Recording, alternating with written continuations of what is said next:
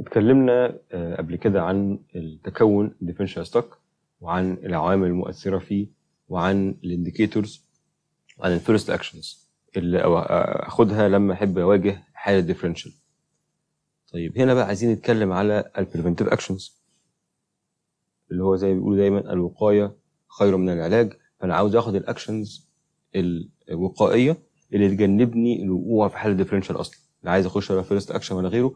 أنا عاوز أتجنب الحالة أصلا من أولها. فنعمل إيه؟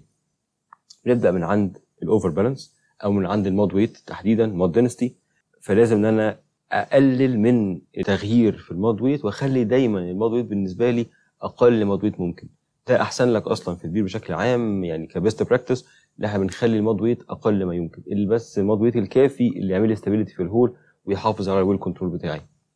الزيادة في ال mud weight والمبالغة فيه ما بتعتبرش إجراء سليم في ال hole فدي أول إجراء وقائي أتخذه. إيه تاني؟ هو إن أنا دايما أراقب حالة أو أو أداء ال solid control equipment عشان أتجنب وجود solids بدون داعي في الطفلة. solids بدون داعي يعني mud weight إضافي بدون تعمد. ده طبعا هيخليني في الآخر أقع في مشكلة مع ال mud weight رغم إن أنا أصلا متعمد إن أنا أو كنت مخطط إن أنا أشتغل mud weight معين زاد بسبب في مشاكل في ال solid control equipment حتة إن أنا أحدد ال casing points أختارها بعناية. جزء من اختيار ال casing point النقطة اللي هنزل عندها بال casing هو إن أنا أتجنب مشاكل ال differential stuck يعني مش شرط يكون القرار بتاع ال casing له علاقة بال well control بس أو له علاقة بال losses مناطق ال losses بس. لا ممكن كمان آه، يكون جزء من القرار هو إن أنا مش عاوز أزود ال mud weight بزيادة. فأي نعم مش هيكسر. حتة تانية في ال hole. كما هو معروف في طريقه اختيار مكان ال casing. ولكن برضو أنا عاوز أتجنب إن زيادة ال mud weight بسبب ال deep sections ما تأثرش على حالة differential في أجزاء shallower شوية. آه، كذلك الطفلة بتاعتي بقى ينبغي إن أنا أراقب كويس جدا ال fluid losses تبقى within limits محددة وأبدأ أستخدم إجراءات مبكرة للحد من ال water loss يعني ال water loss هو ده اللي هيعمل لي زيادة في filter cake آه، كذلك أخلي عندي دايما في آه، زي ما بنقول إيه إجراء احتياطي إن أخلي عندي releasing pill chemicals يعني stock دايما عندي من releasing pill عشان أحتاجها آه، لو احتجتها يعني أستخدمها بشكل آه، مناسب عند حدوث حاله differential بشكل مبكر كمان. ال drill string بتاعي أتجنب بقى وجود آه، مناطق طويلة unstabilized فوجود ال stabilizers هنا عنصر مهم. آه، قد تكون ال stabilizers ممكن بتأثر على filter cake إنها ممكن بتخربش فيها وبتاكل فيها. آه، ولكن هي بت- بتبعد لي ال string عن جدار البير. فينبغي مراعاة ده في ال string design آه، كذلك connection time إن أنا كل ما قللت وقت ال connection كل ما كان أفضل لأنه وقوف ال string مدة من الزمن ممكن يؤدي إلى حدوث حالة differential وبالتالي محتاج إن أنا بسرعة أحرك ال string. وهنا بيبان بعض الأحيان كده في بعض ال formations لما يكون في مخاطر عالية من حتة ال differential ساعات بيبقى ال recommendation بعد ال connection ابدأ الأول حرك ال string وبعدها شغل ال pump هو بيخاف إن إحنا نشغل ال pump الطبيعي إن إحنا نشغل ال pump في البداية. أول ما أربط top drive يعني أو أربط ال string بتاعي بشغل ال pump على طول شغل فأحيانا بنخالف هذا الإجراء بناخد إجراء آخر هو إن إحنا بنأخر تشغيل ال pump شوية لحد ما ياخد free في ال string.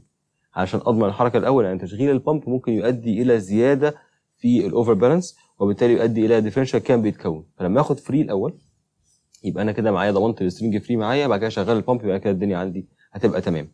وكذلك طبعا تقلل بقى كل ال static time مش بس connection time كمان آه، أوقات الصيانات أوقات ال- ال- الشغل بال string واقف في البير لازم إن أنا أتجنب ال- الموضوع دوت. إن أنا مثلا أنا مقبل على آه، حاجة معينة هعملها في ال hole هتاخد وقت. فلازم أطلع بال string في مسافة آمنة ويفضل طبعا تكون ال string آه، عند ال casing shoe على أساس إنه يكون بعيد عن ال open hole فما يستكش وكذلك قريب من ال open hole فلو حب ينزل stripping حاله well control لا قدر الله.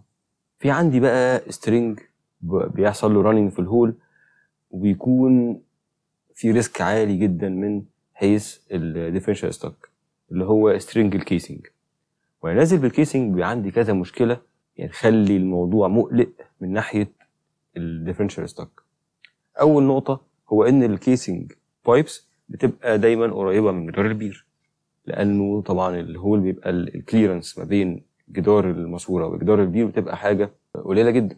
وهنا يبقى بالنسبة لي إن في قابلية إن ممكن ال string يقرب من جدار البير بعض النقط. وضيف لده طبعا بقى الزوايا ضيف لده إن ما يكونش ال string متسنتر قوي في ال hole. فدي أول إيه؟ أول نقطة. فأنا عندي string قريب من جدار البير. طب النقطه الثانية هي إيه؟ هو إن أنا عندي هذا ال string مش فيها قطعة slick هو كله slick أصلا. هو كله string slick املس فسهل جدا إنه إيه؟ إنه حتى لما يعني يقف أو ي stuck differential هيبقى المساحة كبيرة مساحة التلامس تبقى كبيرة جدا.